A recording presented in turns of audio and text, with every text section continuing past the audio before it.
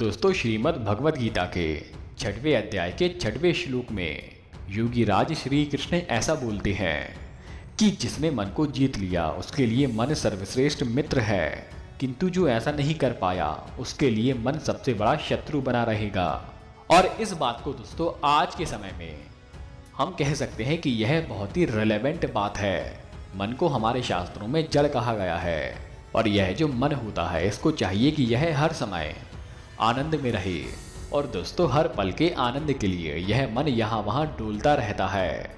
और उस आनंद की प्राप्ति के लिए व्यक्ति का काफ़ी समय बर्बाद हो जाता है। दोस्तों, श्रीमद् भगवत गीता का छठवा अध्याय ध्यान योग पर आधारित है। तो इसी पर ही महाराज श्री कृष्ण बोलते हैं कि अष्टांग योग का अभ्यास मन को वश में करने के लिए किया जाता है, जिससे मन हमारे वश में होकर व्यक्ति का जो लक्ष्य होता है, उसकी प्राप्ति होती है।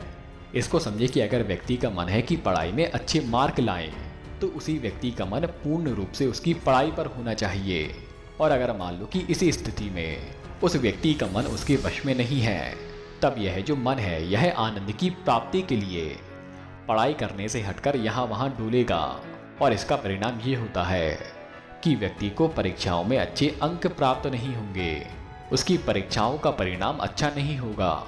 लेकिन अगर यही स्थिति में जो हमारा मन है, वह हमारे वश में है, यानी कि दोस्तों जिस जगह पर हम अपने मन को लगाना चाहते हैं, अगर वह हमारे मित्र के रूप में वहाँ पर लगा रहेगा, तब यही मन हमारा सबसे बड़ा मित्र है। क्योंकि जो मन हमारे वश में नहीं था, वह यहाँ वहाँ डोलकर हमारी पढ़ाई को खराब कर देता है। लेकिन अब मन हमारे वश में है। तब यही मन पूर्ण रूप से पढ़ाई में लग कर आपकी पढ़ी हुई एक एक चीज़ अपने ध्यान में रखकर आपकी परीक्षाओं में यह सहायता करता है।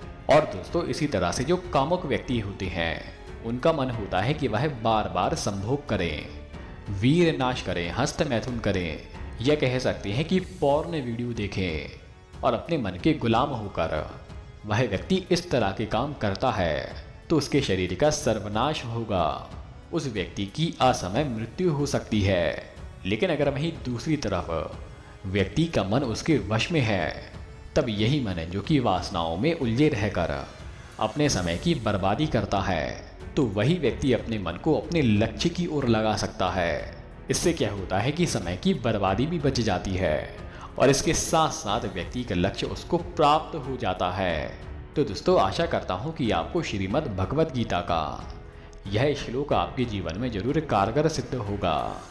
आपने वीडियो यहाँ तक देखी। आपका बहुत बहुत आभार। धन्यवाद।